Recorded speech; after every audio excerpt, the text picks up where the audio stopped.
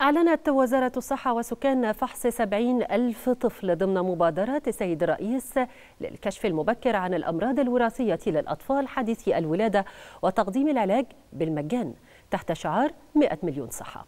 أوضحت الوزارة أن المبادرة في مرحلتها الأولى تقوم بالكشف عن 19 مرضا وراثيا للأطفال المبتسرين بحضانات مستشفيات وزارة الصحة والسكان.